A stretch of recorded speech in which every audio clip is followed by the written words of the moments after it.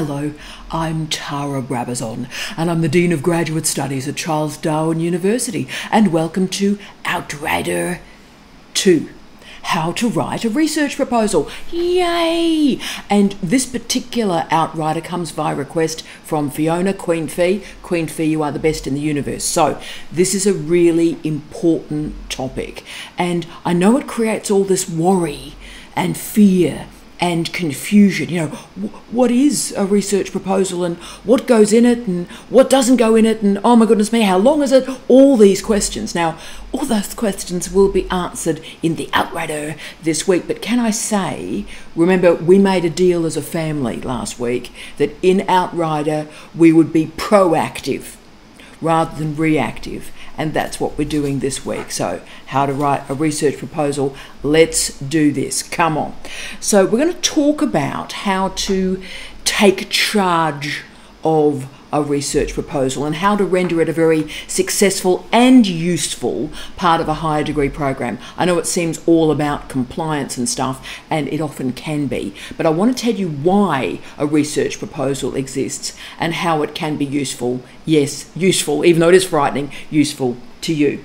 The first thing I need you to remember is that the PhD research proposal hasn't always existed. In fact, it's a relatively recent intervention in the HDR, high degree space. Uh, in fact, 20 years ago, people were not asked to do a research proposal at all. For example, when I did my PhD, when dinosaurs roamed the earth, and I'd applied to gain entry into the program, there was one part of the form that had two lines. Two lines that said, What are you thinking of doing for this PhD? And you wrote two sentences in that space. And no one really read that form, and those two sentences were never mentioned again. So if anybody ever says to you, Oh, you know, it's all so much easier now, when I was a young scholar, it was so much harder to get in. That's that's nonsense. That's nonsense. The research proposal is a really, really new intervention in the higher degree space. So don't let that weird sort of nostalgia about hard thing, how hard things were in the dim dark past. That's nonsense. So what makes a lot of the research proposal stuff a bit silly at the moment, and I'll call it because it is a bit silly, is students are asked to do a research proposal before they've even gained entry into the program. So they're asked when they apply into a program that they present a research proposal. Now, this is weird.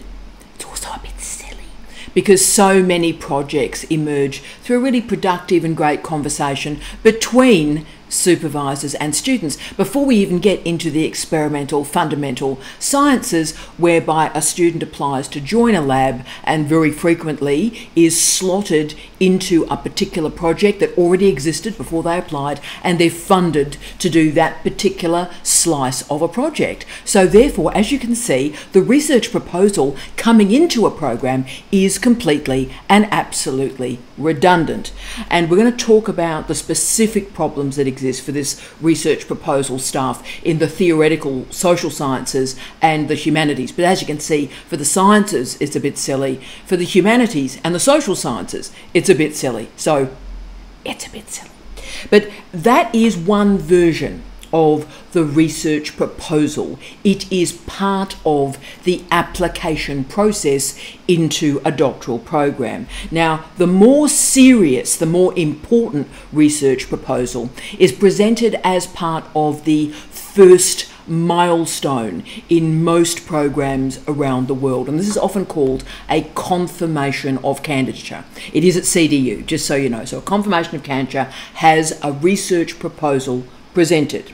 Now you can see the problem here.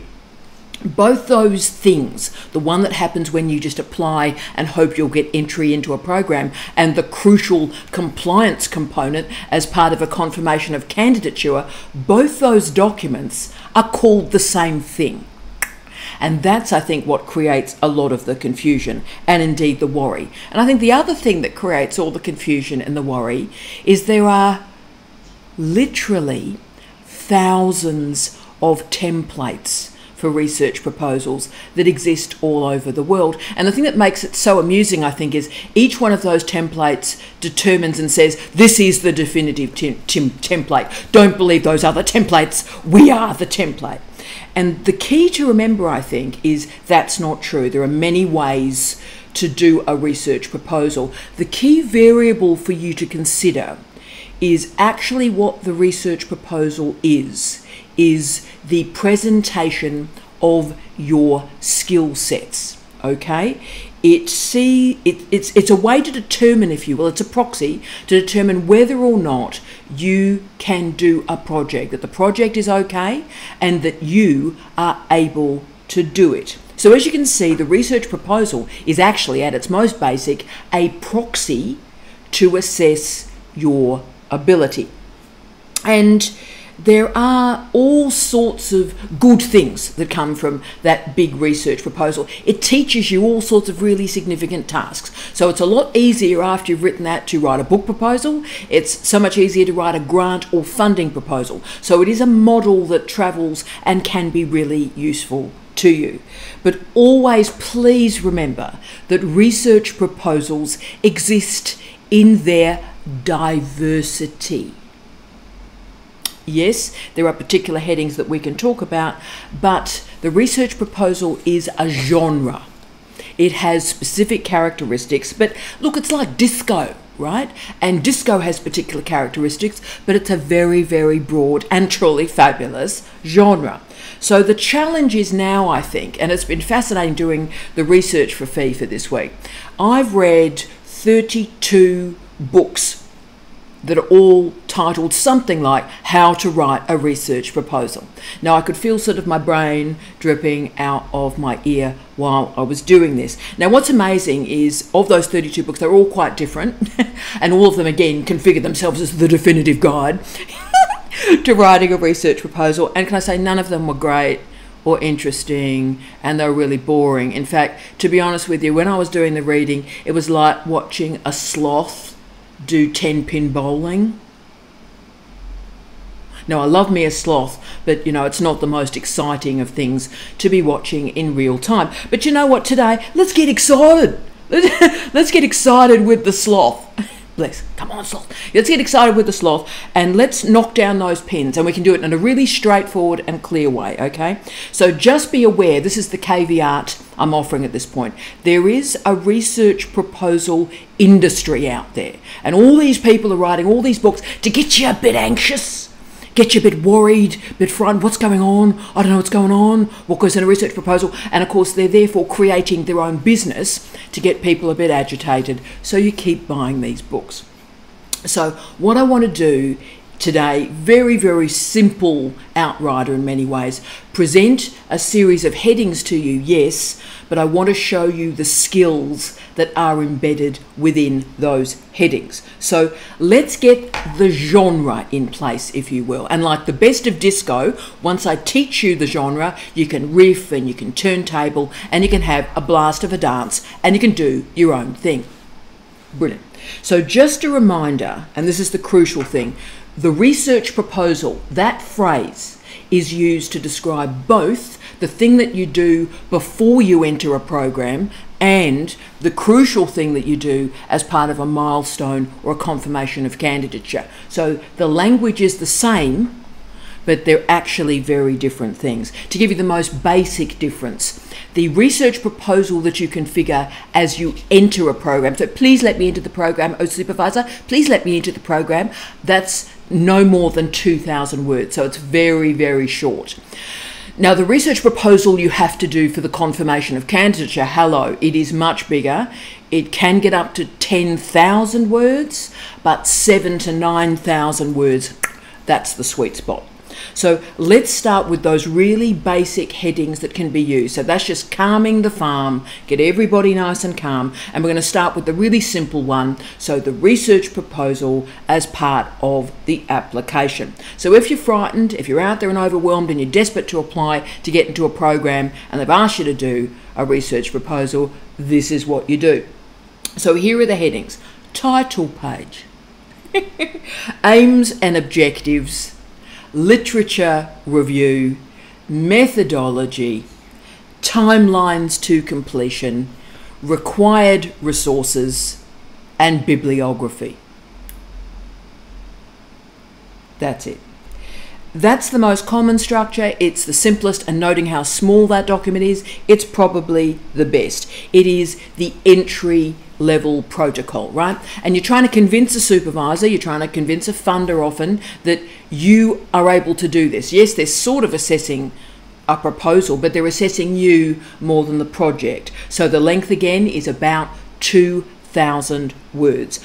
So this is about content but it's not really what we're assessing when i get i get hundreds of those when i get them i'm assessing your meta skills can you write can you read? Are you able to shape literature? Can you reference correctly? Can you write a research question? And if i see that we're golden. That's it. That's all i'm after. So part of the research proposal is actually a skill checklist. Reading writing synthesizing ideas and being able to ask and have strategies to answer questions. Boom, we're there. Also, remember that a PhD is about depth, it's not about breadth. That's crucial. So, you need to show a little bit of deep diving there that you do know that it's about depth and demonstrate that you can be thorough and that you can be rigorous. It's not about a vibe. I want you to have a clear structure and I want you to put clear ideas under those headings. So remember, this is a research proposal. Think about that phrase. It proposes research. It doesn't do research, it proposes research. So that's it. That's all you need for the 2000 worder coming in to say, please, will you consider me to enter into this program? That's it. Let's now get to the serious one. Okay, this is the, the deal breaker uh, research proposal. This is the compliance research proposal. This is part of a milestone. This is part of a confirmation of candidature. This determines if you are, are allowed to continue and indeed complete this thesis. So this does, does matter. I'm not pretending or minimizing this. We'll talk about what's wrong with it, but this is an important moment. Again, I'm going to present some very clear headings. If you're just going, ah, I'm just going to present some very clear headings for you. Follow them and we're golden. The challenge is, team, that those headings don't work for a lot of disciplines. So it feels like you're putting plasticine through a straw. I understand that. So what I'm going to do is I'm going to explore as many disciplines as possible and show you, even if you're going, what goes under that heading for me, I'll give you something to put under that heading. So the challenge we've got is that there are epistemological, ontological, and methodological assumptions that exist in a research proposal. And those assumptions come from the experimental sciences, medical sciences, and allied health sciences in particular, with some sweeping applications into the applied social sciences. But for many disciplines, I understand you're looking at this structure and thinking, what is going on? I understand that, there are reasons for that, but I can make it work for you as well. And please remember, yes, you're sort of in your, you're a star of your own life. You go, oh, I'm stressed, I'm stressed, I'm stressed. Remember, the whole point that you're doing this, it ain't about you. You're constructing this research proposal for your assessors. Now, what are the assessors after? Right, they want to see can you write research questions and do you know how to answer them? Okay. They want to see that you have an understanding of the time involved in completing tasks and the resources and the funding that is required to complete those tasks.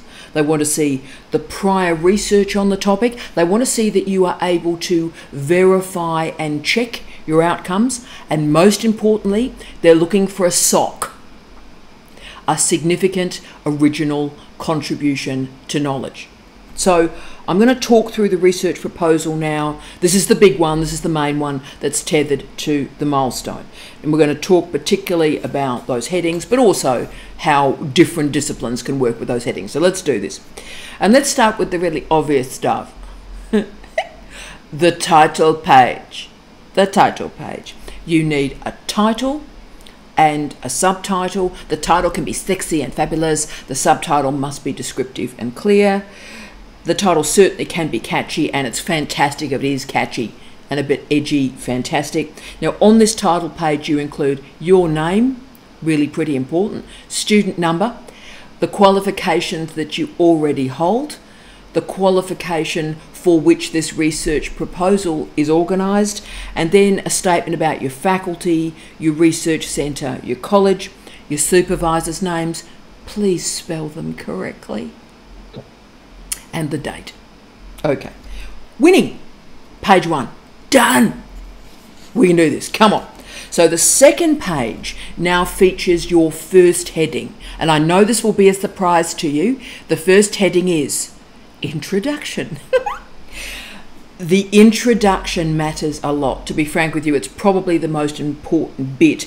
And what you need to do in the introduction, the meta skill, is you need to convey energy and excitement with your project. You need to show direction, you need to show momentum. Why are you doing this? And why are you doing it now? Make sure both those questions are answered. So, what happens now? Is in the introduction in a lot of disciplines, there are subheadings in place. Now, we have an introduction and the subheadings in place. That's most commonly deployed in the experimental sciences, in medicine, public health, allied health. So, big introduction and subheadings we will often see in the theoretical social sciences and the humanities, there'll be an introduction, but then the subheadings are not actually subheadings, they're whole headings in and of themselves. So be aware both those systems and structures operate just fine.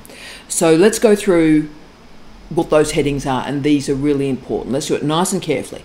The first one is statement of the problem. Statement of the problem. And what you are doing is you, under this heading, you present the gap in the literature that you are going to resolve, the gap that you are going to fill. Next heading research questions. Three to five. Three to five. Good, clear questions. They will change. The assessors will help you, but the assessors are assessing if you have any idea what a research question is. So have a good go. Then we move to aims and objectives. This is, if you like, the goal that you have for your research. What are you trying to do? This is the big picture stuff, if you like. What are you trying to achieve and why? And what steps will you implement? What strategy will you configure to reach those goals? So that's the big picture stuff there. Then, rationale. Why the research needs to be done right now. Why wasn't this gap filled five years ago? Why can't the gap be filled in five years' time? Why now? Then we move to SOC, significant original contribution to knowledge. How will this thesis contribute to your field, your subject, or your discipline? And I would like you to work through all four of those words significant, original, contribution, knowledge. They're all different. Some research proposals then have two other headings abstract and keywords. We see that quite often in medicine, nursing, allied health. My argument is you've already presented the abstract and so forth. Why would you need to go again? But anyway, in those particular disciplines, medicine, nursing, allied health, put in an abstract and put in keywords. Right. That's the end of your introduction with its subheadings. So you can see what we've done there. We've now got a pretty small but pretty well presented summary of the project. That's fantastic. That is very hard writing to do, and not one word of that is wasted because you're going to be able to scoop all of that up out of your research proposal and slam it straight into the actual introduction of your thesis. No wasted words here, fabulous. And I know it's tough writing, so give yourself credit for doing that tough writing. Okay. Now we move to the literature review. Now we move to the literature review. This is where the problems start because The literature review in a research proposal is different from a literature review in a thesis. Again, the same words are used, but they describe very, very different things. And that's why the confusion happens. In the research proposal, this is how you do a, a, literature review in the research proposal. First thing you need to do is who are the big names in this field? Names, names, names. Who are the big names in this field? And how have they worked in and around the gap in the knowledge that I've configured? How have those big names worked with and around my research questions, right? That's crucial. The other thing that we need to see in the research proposal literature review is new names. New, new, new. I need to see the big, sexy, innovative names, people that are working in the last year. So I need to see the year you're doing your research proposal, there needs to be references from that year and the new and emerging scholars and present those really current references in your literature review. So think about it in this way. The point of a literature review in your research proposal is you are trying to provide a frame or a shape that limits or provides the parameters for your data collection and your analysis. So that will help you create timelines and all the rest of it. And also, of course, meta skill again. The literature review shows that you have expertise, you have knowledge in your field but also you cannot prove a significant original contribution to knowledge if you do not understand the knowledge in the field. And for me, they, and I do thousands of these roles as assessors around the world, the deal breaker for me is always when a student is doing that. This is my significant original contribution to knowledge. Look at me. This is the gap in the literature. And they've only located a gap in the literature because they haven't read the literature. So they're going, This is a gap. And it's like, well, about 15,000 people have written in that gap and you haven't referenced any of them right? So just make sure you're demonstrating you know the field, you got it going on, and therefore the gap is a real gap and not a gap caused because you haven't read enough, right? The challenge, therefore, is how you shrink this literature review into a proposal, okay? And I know, and I'll just do the, the caveat line here again. I know for a lot of our colleagues in the humanities and the theoretical social sciences, you're going, what is going on here? Because we tend to use what are called integrated literature reviews. We don't have a literature review chapter in a thesis. We, each section have a section in each chapter that is a literature review, and that's called an integrated literature review. So the idea that you're sort of slamming this all together is like, why am I doing this? And I get that.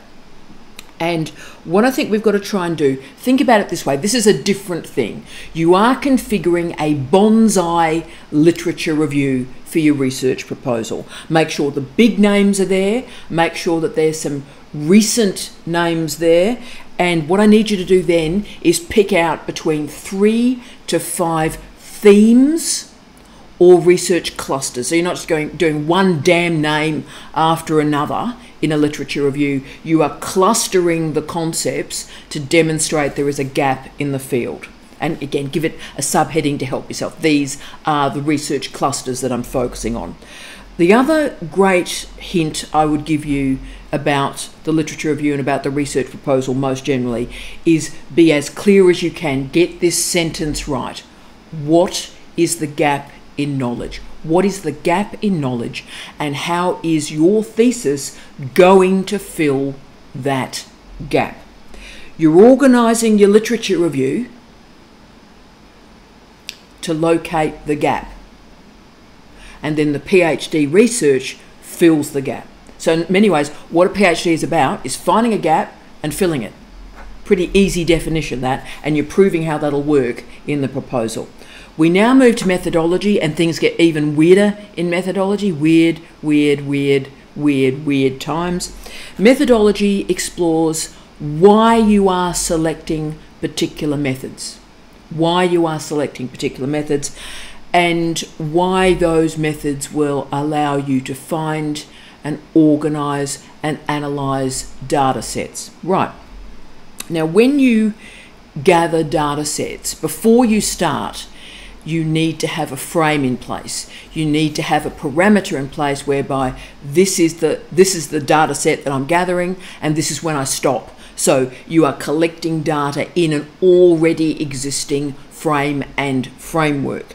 The assumption too often is that every scholar in a PhD program is finding new data.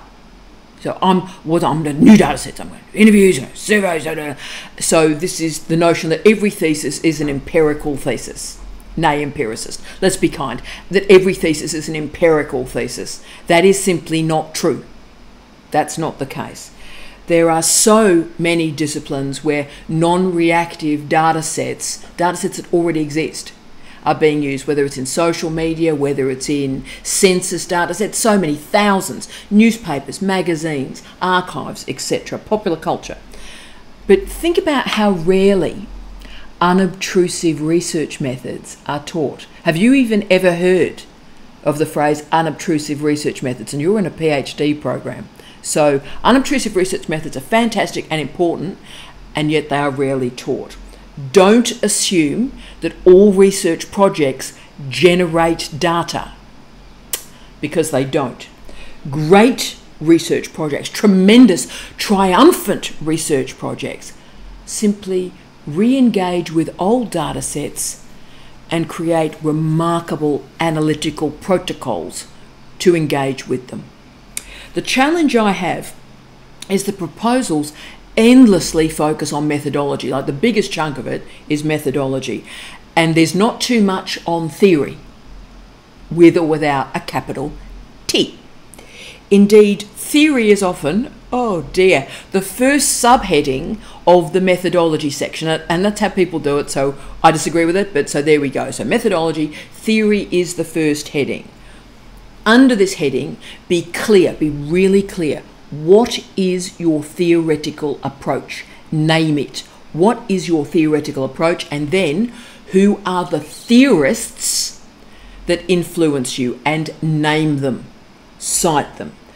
There are many definitions of theory that hook into epistemology or ontology or axiology, and therefore for a lot of research proposals, all the attention on methodology, ah, all the attention on methodology means that the theory is seriously undercooked.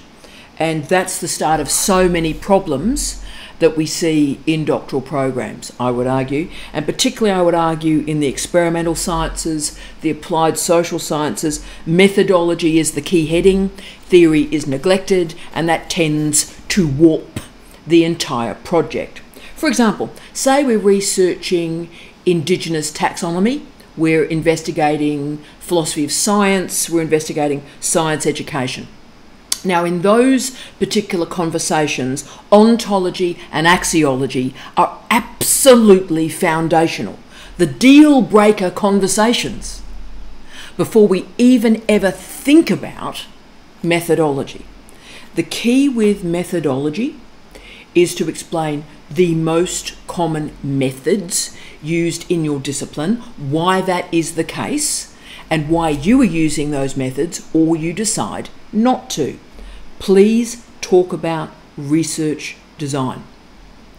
A good conversation about research design is able to align theory and methodology and demonstrates how the research tasks can be completed on time. It also shows that the methods that you have selected will enable you to answer your research question. So don't get lost in the methodology section. For all my wonderful nursing colleagues out there, hello. I love all my nurses. I hope you are fantastic. I think this is a real problem in nursing at the moment that methodology is just taking over the entire research proposal. Please focus on the methodology and the methods you require to answer the research questions. That's it. That's it.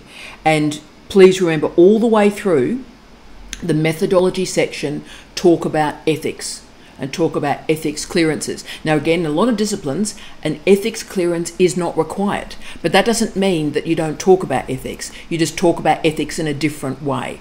What are the ethical considerations that you come to when you make these decisions? Right, we're doing well. The next big heading is resources. Now, I know this seems very dull, but resources are absolutely crucial and they can end your program. If you require equipment, if you require travel funding, say for field work, and your university or your school or your lab does not have that money, then your project stops right here. Be really clear about, therefore, what is urgent and what are necessary resources. Don't do a shopping list. Oh, I'd really like this. Oh, yeah. Oh, I can go to Officeworks. yeah, stationery. Uh, no. Uh, just uh, one of my former jobs was as a head of school, and I would get the first look at these research proposals, and I always remember it was section nine. Section nine were the resources. So I had a look, but my job was to assess if we had the resources. And if the student put in their shopping list and I didn't have the resources, the head of school did not sign that proposal off, and the thesis stopped until the budget was changed. So please do not for one moment think that the resourcing section is just sort of a shopping list or it doesn't matter. It can be the end of your project. And then we move to the, the next heading. We're nearly finished. Then we move to the next heading, timetable.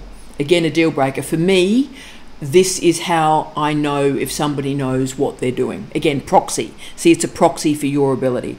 For me, this is crucial. Does the student know how to align task and time orientation so they can complete in three years? And by that I mean, are they clear about the tasks that they need to do? And that's important but are they then able to accurately assign a timeline to those tasks? As I always say, and you always repeat back to me, which is lovely, this is not your life's work. A PhD is not your life's work. It's not the best research you'll ever do. It is the worst research you will ever do. Yes, you can use a Gantt chart. Love me a good Gantt chart. That's fine. Be clear about the stages and the tasks that you're going to complete and attach real timelines to them. And you will be held accountable to and for those timelines. The next section, yay, is your conclusion. Use that heading. This matters too. In the conclusion, you talk about why your research matters, mattering, why your research matters, and why it matters now. And why, this is the good bit, why you are the person, the one person on planet Earth, the one person on planet Earth to do this project now. Basically, I want you to answer one question for me in your conclusion. Why should I care about your thesis? Why should I care about your thesis? Why does it matter? And then, of course, the final heading here we go. Yeah! Is bibliography. Not references, bibliography. I'll explain the difference. References are that which you cite in the previous document. So, you know, your little bracket Harvard, you cited that. That's a reference list. A bibliography is big. It's everything you've read and will read for the project. This is crucial. I read bibliographies first. I know if the person is knowing, knowing what they're doing by reading the bibliography the, you know, I read when I read theses, when I examine theses, I start the bibliography and I know if the student will pass or fail via the bibliography. That's how important it is. We need in the bibliography, we need it to be large, large. I need to see all the big names, names, names. I need to see the big researchers in the field there. I need to see the new, edgy, new names. I need the names to be international. Don't just think, with the greatest respect to my colleagues in North America and Europe, please do not think that the best scholars in the world are in North America and Europe. They are not think about international knowledge, also think about interesting multimodal sources. I love it when students find all sorts of interesting YouTube materials. They find podcasts, they find interesting lectures, they find other people's PhDs. So lots of multimodal material really gets me excited. Yeah. Most examiners will read your thesis from the back. Most assessors read your proposal from the back. Make it strong, it matters. And please remember, ref- reference correctly and consistently, we're assessing your meta skills like information literacy. And the final just few formatting things to make sure everything's in place. Please number the pages, consistent fonts, No spelling or grammatical errors, particularly of your supervisor's name. That does undermine your credibility somewhat, and please use those nice, clear headings. These formatting issues are not there for you, they're present for your assessor so that they are able to guide themselves, orient themselves through your research.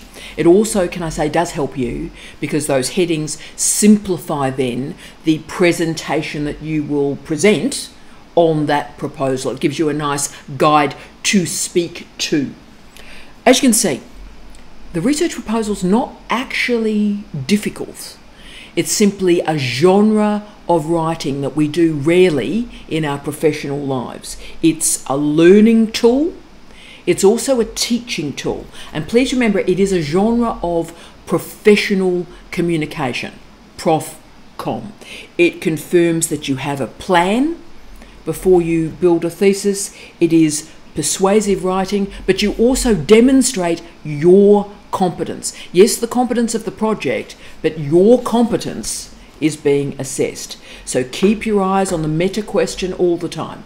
What are you planning to do? Why do you want to do it? How do you want to do it? When do you want to do it? Both, both, both. So you're writing this proposal not for yourself, not for your supervisors. You're writing it for your assessors. So help them. Help them know what they're going to need to know about your topic, that they know what they need to know about you to assess you and your ability to do this. And the proposal too must be exciting. I know sloth. The proposal must be exciting. Your energy. Why you want to do this. You can be doing all sorts of other fabulous things. Why are you here now? Why are you excited? Make sure your conclusion conveys that. So as you can see, what all of this about is about is being clear that you matter and your research matters. And so the research proposal configures and shapes and presents those mattering maps. That's it. Thank you, wonderful Queen Fee, for the suggestion, and I wish you love, light, and peace. Tea out.